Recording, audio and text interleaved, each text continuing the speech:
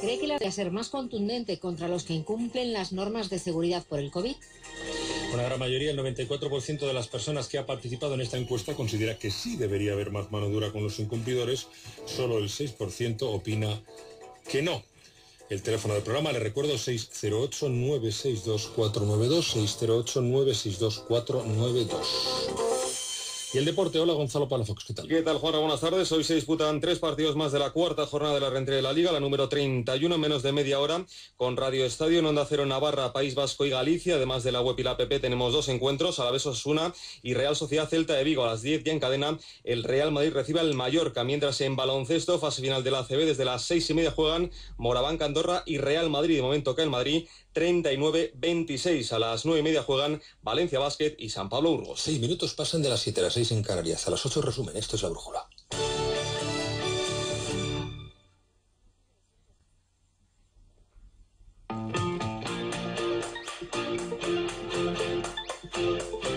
La brújula de la región de Murcia. Ángel Alonso.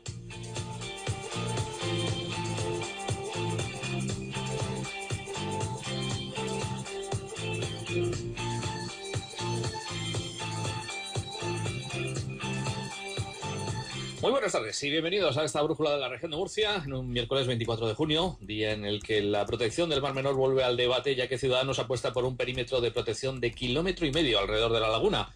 Eso es tres veces más que lo que su socio de gobierno, Partido Popular, plantea, que quieren que sea unos 500 metros.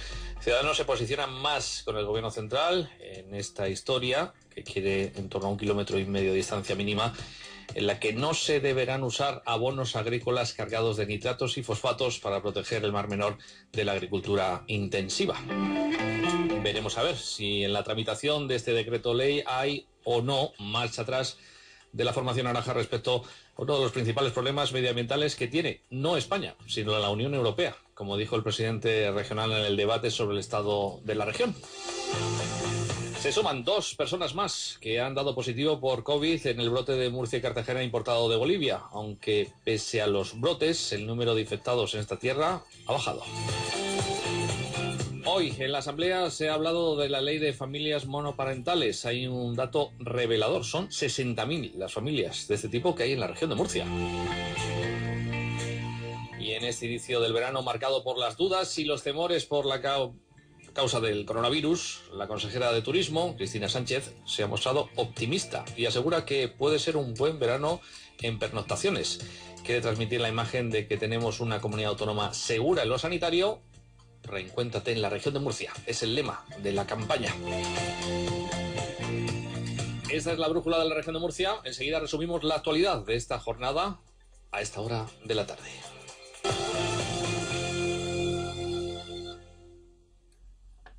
El Info lanza líneas de ayuda para empresas y pymes. Ayudas adaptadas a nuestras empresas con la finalidad de apoyar sus necesidades financieras y sus proyectos innovadores de emprendimiento y de internacionalización. Infórmate en el 900-700-706 o en institutofomentomurcia.es. Instituto de Fomento de la Región de Murcia. Una manera de hacer Europa. Fondo Europeo de Desarrollo Regional. Murcia, región empresarial.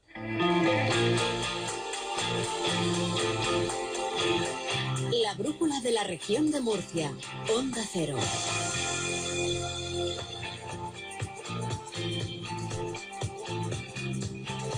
No se podrán usar fertilizantes agrarios a menos de kilómetro y medio del Mar Menor murciano, en lugar de los 500 metros como señala el decreto ley para su protección integral. Si Ciudadanos mantiene la postura anunciada para enmendarlo en su tramitación como proyecto de ley, pues sumaría mayoría absoluta con el Partido Socialista, que también defiende ese kilómetro y medio.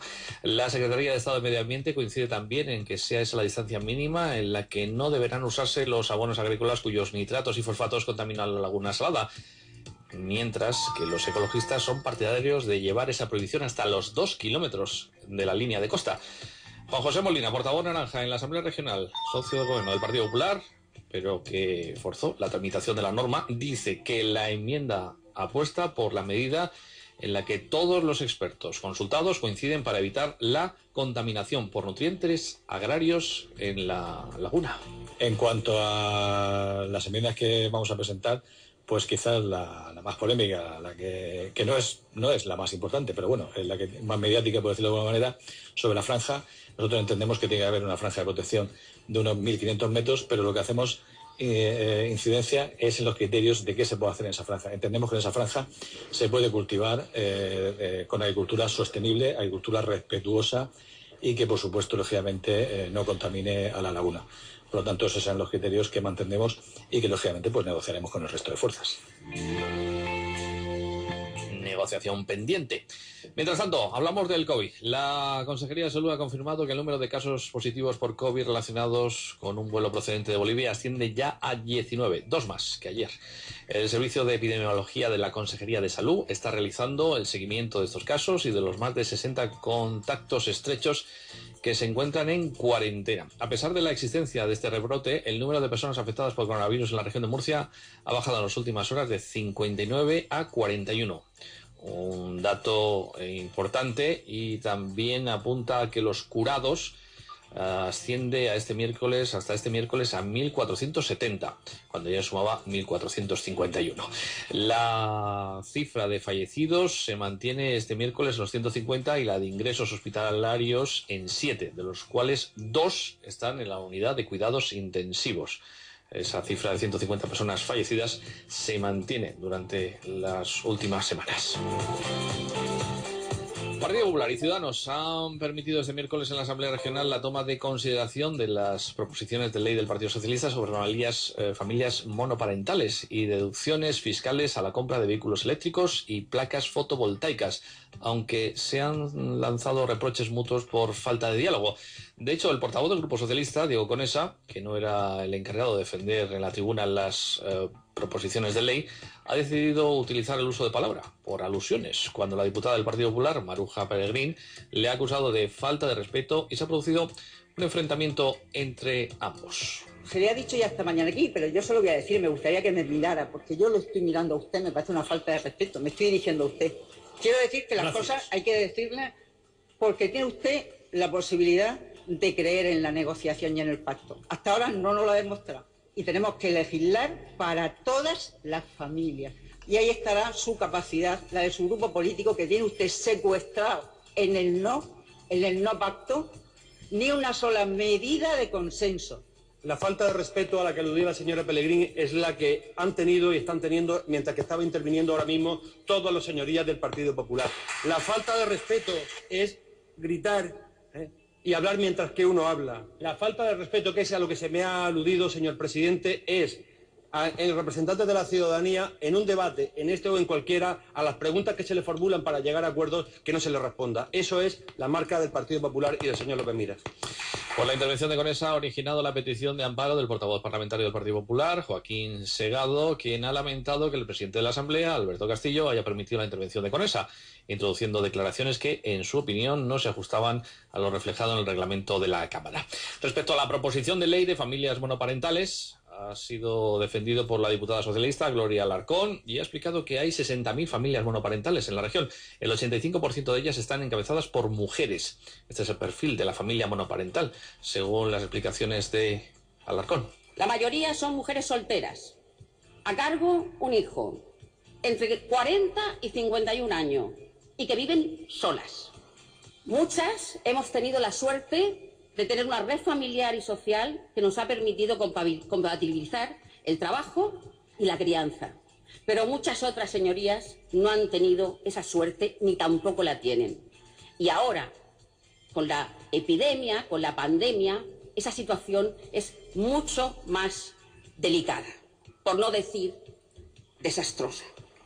El resto de grupos parlamentarios ha coincidido en que la propuesta de ley del Partido Socialista es escasa y poco ambiciosa. Desde Podemos, además, María Marín ha lamentado que no incluya el término monomarental, porque la inmensa mayoría de las familias monoparentales la encabezan mujeres. O más bien monomarental, ya que a día de hoy son mujeres solas las que encabezan más del 80% de estas familias. Y es una lástima que este proyecto de ley, y lo tengo que decir, sea poco valiente en ese sentido, cuando los que se escandalizan por estos neologismos son precisamente los mismos que luego se inventan otros, como por ejemplo PIN parental, para esconder lo que no es sino censura en las aulas y un veto absolutamente inquisitorial. Y la diputada del Partido Popular, Maruja Pellegrín, ha recordado que esta ley se queda un poco obsoleta porque viene de la legislatura anterior, pero también ha asegurado que su grupo está dispuesto a pactar para sacar adelante una buena ley. Y señora Alarcón, ¿sabe por qué no es una buena ley? Porque esta ley viene fundamentalmente de la legislatura pasada, la sociedad cambia y usted hoy trae aquí una ley que es de la legislatura anterior. Digo también porque el señor Conesa, ayer decía usted que es el adalid de las propuestas de leyes en esta Cámara. Pues mire usted, de las siete leyes que han presentado, seis son tobaristas, no son de usted, son tobaristas, son heredadas. Está sacando usted un rédito político del 85% del trabajo de la legislatura anterior.